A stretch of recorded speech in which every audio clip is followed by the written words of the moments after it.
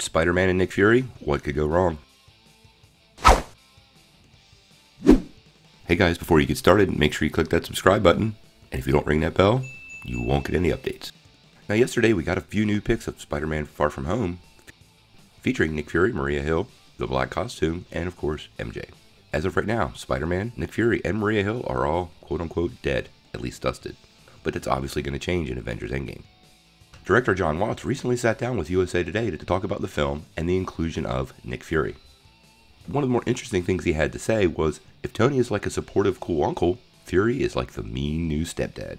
He went on to say Fury doesn't see himself in Peter Parker. Fury sees Peter Parker as an asset that he needs who is too preoccupied with a bunch of high school problems. Part of my pitch for the very first movie was bringing Nick Fury in and making him a mean substitute teacher. Alright, that would have been pretty hilarious.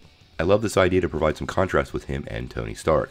Tony was always kind, but a little firm with Peter, but Peter clearly thought he always had his back. Nick doesn't really have that going on. With Nick Fury being the main focus of his newfound mentor mentee relationship, it's clearly going to change up the franchise a little bit. I do wonder if they take a couple of beats from the Ultimate Spider Man cartoon, which, while wasn't popular, did see Spider Man team up with Nick Fury as a member of S.H.I.E.L.D. It also saw the inclusion of several other characters, which makes me go, hmm. What do you guys think of this role for Nick Fury in Spider Man Far From Home? The growth part of it seems perfect, and I gotta say, there is nobody else better than Samuel L. Jackson to play a mean stepdad. Tell me what you think in the comments below. If you like this video, make sure you press like below, click subscribe, and if you don't ring that bell, you won't get any updates. Peace.